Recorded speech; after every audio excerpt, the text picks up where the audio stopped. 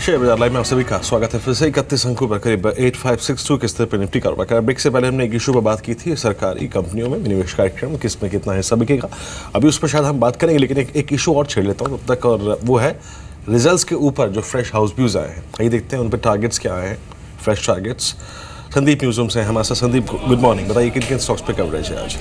शुक्रिया Viren ICIC bank कल का स्टार परफॉर्मर था। इस पर बैंक ऑफ़ अमेरिका मेरिलिंस की रिपोर्ट आई इसमें उन्होंने अपना जो बाय कॉल है उसे मेंटेन किया है। टारगेट सुझा रहे तीन सौ बीस रुपये का उनका कहना है कि हाल में जो कुछ बड़ी डील्स हुई हैं, उससे इनकी जो लोन बुक है, उसमें जो स्ट्रेस है, उसमें कमी देखने को मिलेगी। और वैसे भी एसआर ग्रुप का जो पूरा लोन है, जो पूरा कर्ज है, उसमें इनका करीब पंद्रह से बीस के आसपास का एक्सपोजर है।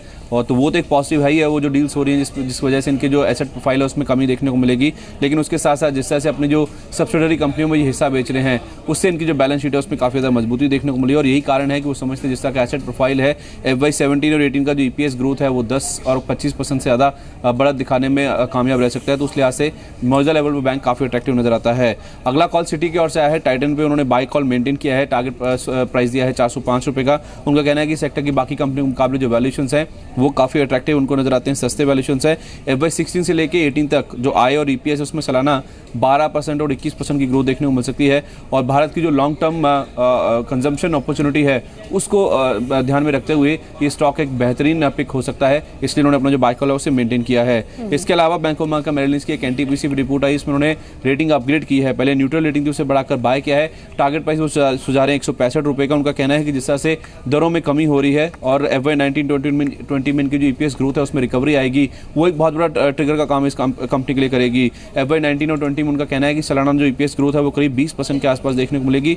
और जिस तरह से दरों में कमी आ रही है उस वजह से इनकी जो आर हैं, वो एफ़ ट्वेंटी तक बढ़कर करीब बारह फ़ीसदी के आसपास देखने को मिल सकती है। वैल्यूशन औसत के मुकाबले काफ़ी सस्ते हैं और शेयर में री रेटिंग की संभावना बैंक ऑफ़ अमेरिका मेरिलिंच को नज़र आती है। आखिर में सिटी का एक कॉल आया है और बिंदु फार्मा पे। बाय रेटिंग बरकरार है टारगेट प्राइस को हालाँकि उन्होंने कम किया है 1200 से टारगेट ग्यारह किया है, लेकिन उनका कहना है कि वैल्यूशन अब भी काफ़ी अट्रैक्टिव और जिस तरह से कर्ज में लगातार कमी आ रही है, वो एक बहुत बड़ा पॉजिटिव है इस कंपनी के लिए। यूएस में जिस तरह की मज़बूत पाइपलाइन है, उससे मीडियम टर्म में जो ग्रोथ है, वो काफ़ी मज़बूत देखने को मिल सकती है और वैसे भी जिस तरह से आई ग्रोथ काफ़ी मज़बूत है यूटिलाइजेशन काफ़ी मज़बूत है। उस वजह से जो मुनाफी ग्रोथ है, वो भी काफ़ी स्ट्रॉन्ग देखने को मिल सकती है, जिस वजह से उन्होंने अपना जो बाय कॉल है, उसे मेंटेन किया है। शुक्रिया संदीप आपका। तो ये कुछ हाउस व्यूज़ बताए हैं संदीप ने आ, कुछ स्पेसिफिक स्टॉक्स पर जहाँ पर ब्रोकर हाउसेस बुलिश और अरबिंदो फार्मा की यहाँ पर बात हुई है इसकी हमने बातचीत की भी थी सिटी की बाय कॉल है इस शेयर पर। लेकिन एक हेवल्स को चर्चा में शामिल कर लेते हैं क्योंकि कल ये स्टॉक दिन के निचले स्तरों पर बंद हुआ था साढ़े चार परसेंट की वीकनेस लेकर। आज नतीजे आने हैं और अनुमान है कि डिसेंट नंबर्स कंपनी पोस्ट कर सकती है। ऐसा माना जा रहा है कि जो कंपनी की प्रॉफिटेबिलिटी है वो 25 परसेंट ज़्यादा इंक्रीज हो सकती है और इसके पीछे दो वजह एक तो ये कि जो कंपनी का लॉस मेकिंग सिल्वेनिया बिज़नेस है, उसको बेचने के बाद जो इंटरेस्ट कॉस्ट है, वो कम आ सकती है, जिससे सपोर्ट मिल सकता है कंपनी के बॉटम लाइन को। वहीं रेवेन्यूज भी दस बारह परसेंट बढ़ सकते हैं। क्योंकि जो डिमांड है, वो सभी सेगमेंट से आई है और साथ साथ कंपनी ने कुछ नए प्रोडक्ट्स भी लॉन्च किए हैं। तो एक डिसेंट सेट ऑफ़ अर्निंग्स की एक्सपेक्टेशन है हेवल्स की ओर से। मिस्टर महाजन, सितंबर सीरीज़ में एक अच्छी, एक स्ट्रांग आउट परफॉर्मेंस स्टॉक ने दिखाई थी और अक्टूबर सीरीज़ की शुरुआत से ही एक रेंज में थोड़ा कंसोलिडेट ये स्टॉक हो रहा है। अभी अर्निंग्स को ध्यान में रखते हुए आपका व्यू क्या है हेवल्स पर? Uh, the stock, as you rightly said, has already run up significantly in the uh, last month. The company has been moving from strength to strength, or uh, uh which is reflected in the stock uh, price going up.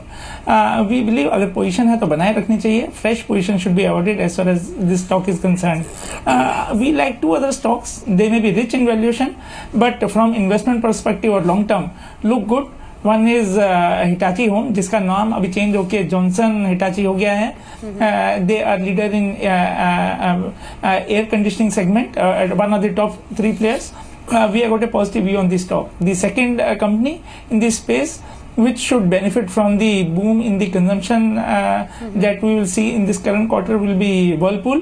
Uh, stock is quoting in four digit mark mm-hmm. at current level or any correction उसमें uh, position बनाना चाहिए for a person who is looking at a two to three year perspective. तो हेवल्स भी comfort दे रहा है और नए निवेश के लिहाज से वर्लपूल भी मिस्टर महाजन को पसंद है